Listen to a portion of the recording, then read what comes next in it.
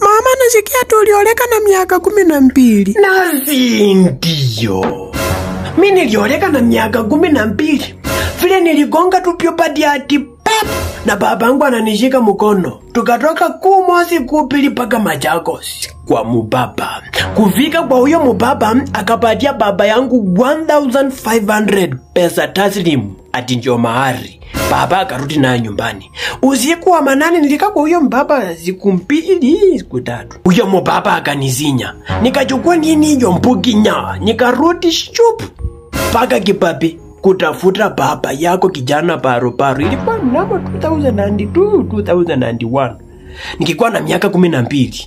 Nimekaa kwa ndoa kutoka 2001 mpaka zai sijawahi rudi kwetu. Baba yako akiletanga mpango wa kando huwa nachapa vibaya sana.